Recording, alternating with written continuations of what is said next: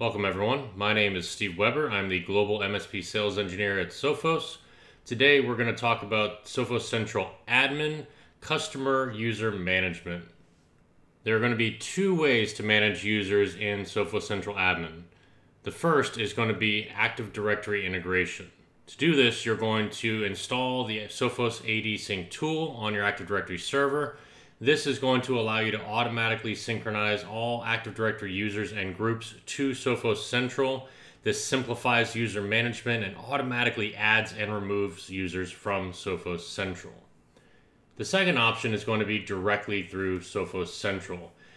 If you don't have Active Directory, what you're able to do is as you install the endpoint on your workstations or servers, it is going to grab the username from that workstation and populate that automatically into Sophos Central. If they are all Active Directory integrated, they will all have the same domain slash user. If it is not an Active Directory integrated account, it will have computer slash username. If you are wanting to maintain a single user license across multiple devices, you are going to have to manually manage those users. And what we're going to do is we're going to go through a few demonstrations of how this works in the system. Okay, we're going to start with Active Directory Management. On the left, I have my Active Directory server, my domain is test.com, and I have my two users, John Smith and Sally Roberts. From here, we're going to install the Sophos AD Sync tool on the Active Directory server. What this is going to do is synchronize John Smith and Sally Roberts into Sophos Central users. It is going to populate their usernames, both of their first and last name, as well as their associated logon ID, in this case, domain slash username. From here, we're going to be able to see that if John Smith and Sally Roberts both have two devices and they log onto those devices, it is going to associate both those users to that same account. The end result here is going to be two Sophos Central user licenses. Next, we're going to take a look at the Sophos Central user management. So this is assuming you do not have Active Directory. Uh, we just have workstations out there. They're all just part of a work group. Uh, user accounts are going to be computer name slash username. And what's going to happen is as you install Sophos on these devices, you're going to see those devices populate inside of Sophos Central. It will show up as the computer name slash the username. In the case of the first user here, J Smith, with the associated logon of computer name slash J Smith, and he is associated to that computer PC1. As we start having more computers for J Smith, in this case, we're going to give J Smith four computers. We're going to see as he signs on to PC2, it's going to have a different associated account with it. Uh, same thing when we go to PC3 and PC4. So what happens in this scenario is we now have John Smith in the system. He has four different Sophos Central user accounts with the associated logons, and the ending result here is going to be that he is going to consume four Sophos Central user licenses.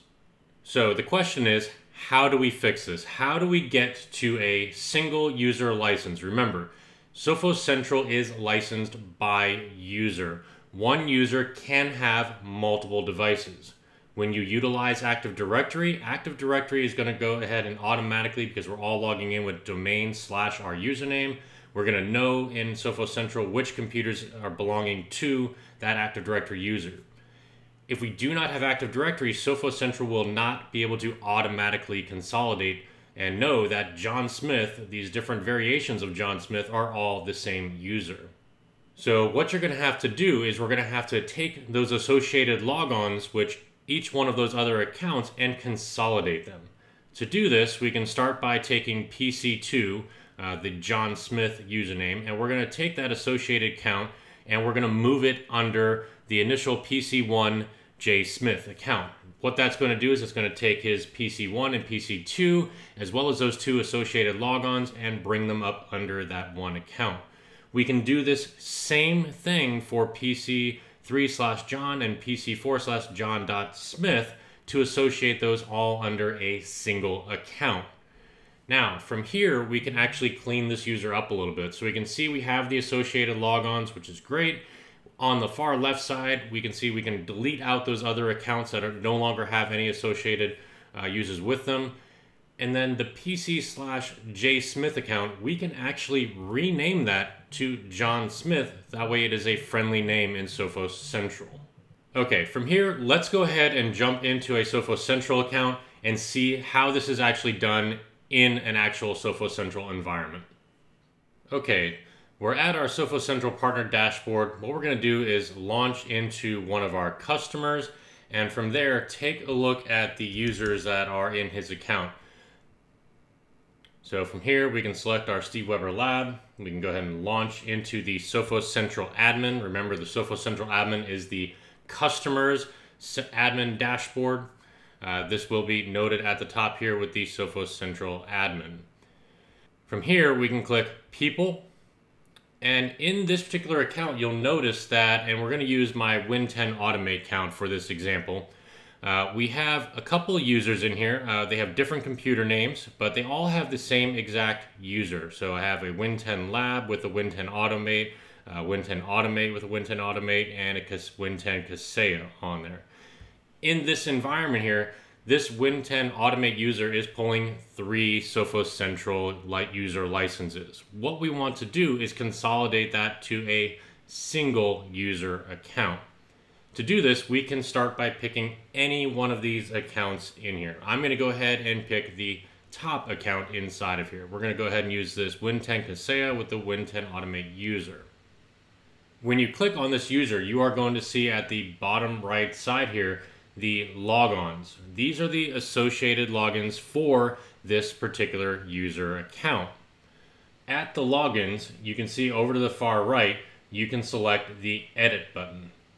What that's going to allow us to do is to find those other Win10 Automate users in the system. You can see I can select both of those and associate those logons with this account here. Uh, we're going to move those over and we're going to go ahead and hit save. Now, under this account, we can now see that it's my Win10 Automate and all of these accounts are associated under this one individual user.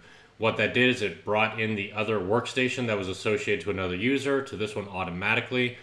Now we can go in and clean up this account as well. So under the actual user account, we can go ahead and hit edit. From here, we can go ahead and change the name. So right now it's still listed as computer slash user. If we just want to leave this as the user name, so we can quickly and easily identify this as that particular user we're looking for, you can populate their email address if you need. This is also where you can go in and change the role of that particular user uh, for this Sophos Central admin account.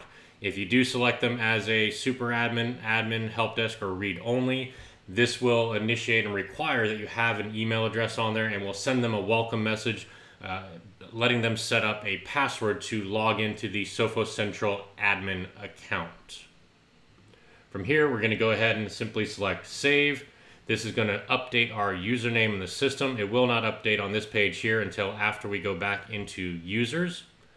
On our user page, we're going to see that Win10 Automate user has been modified. Now, if we take a look at one of our other accounts here, now these can be deleted, but what I want to do is show you first.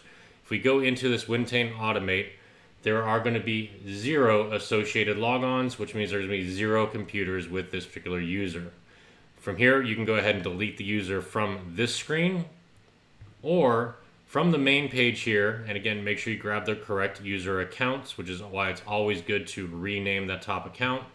Select the two user accounts inside of here. Now, this is not mandatory. These are not going to pull a user license at this point. This is simply just for management sake of making sure that you don't have multiple users in the system that don't have an associated logon. From here, I can go ahead and select delete to delete both of those accounts out of the system. You can see here it's going to prompt me to make sure that yes, I do want to remove those. Uh, they are going to be permanently deleted after 90 days. And this is going to give you your request ID confirmation and at this point, we now have this console cleaned up with one Win10 automated account that has three associated logons. It has two devices associated with it. We have now taken this Win10 Automate from pulling three user licenses to a single user license. Okay, now we're going to take a look at the Active Directory integration portion of Sophos Central. What I've got here is a different Sophos Central admin account. I have a lab admin account set up here. This does have to be either a super admin or an admin in the system. If you need information on how to set up a super admin, please take a look at our synchronized security video as it'll walk you through this process as well. From here, there are two different ways in which we can get into the Active Directory synchronization. We can take a look at the top right and we have the Active Directory sync up at the top, or we can go to Global Settings and AD Sync Settings and Status. From here, if you've never set this up before, it won't have any stats on there. What you'll want to do is download the actual installer.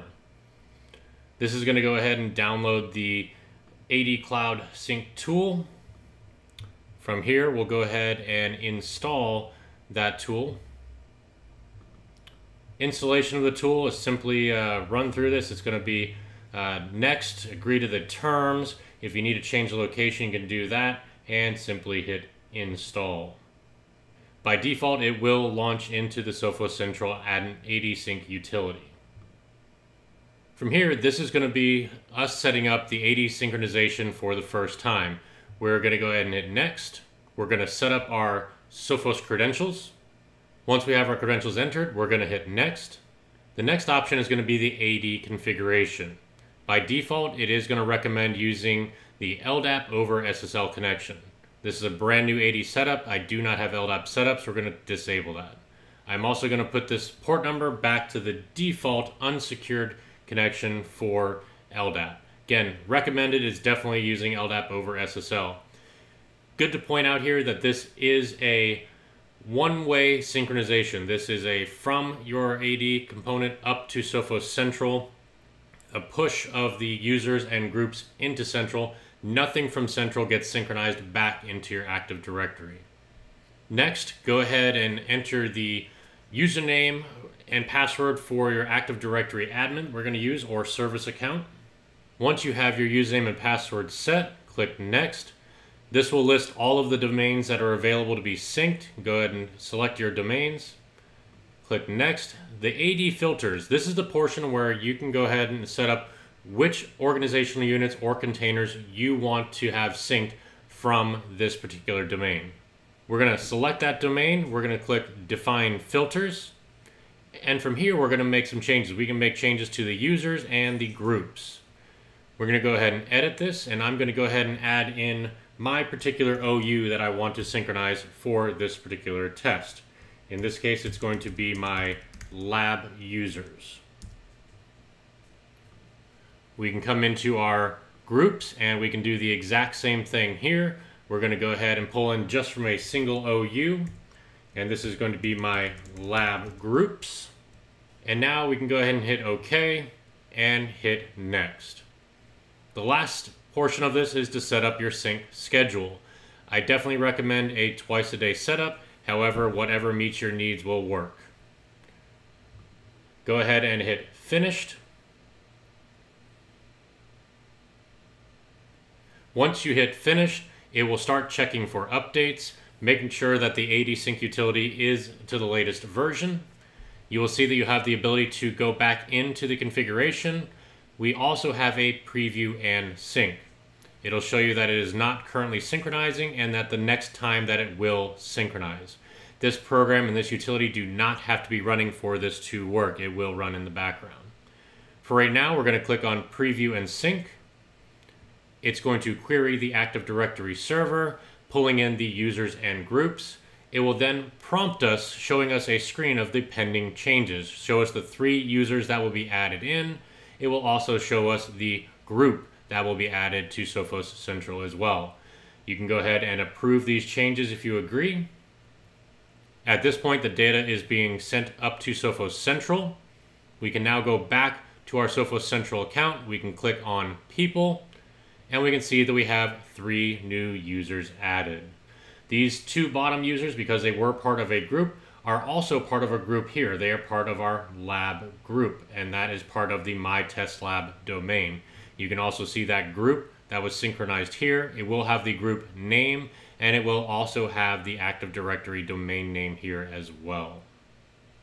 Thank you, everybody. That was our quick lesson on user management for Sophos Central Admin. If you found this useful, please go ahead and subscribe and like the video, and we'll see you on the next video. Thank you.